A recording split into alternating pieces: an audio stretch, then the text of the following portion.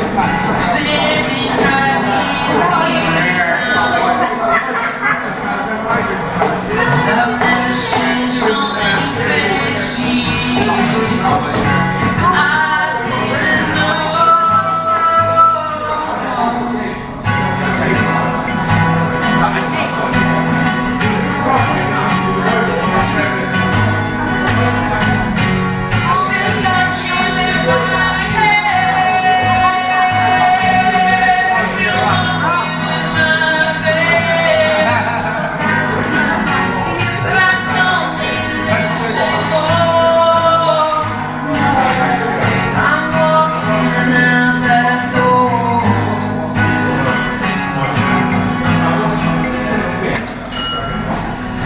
I'll drop your share into your.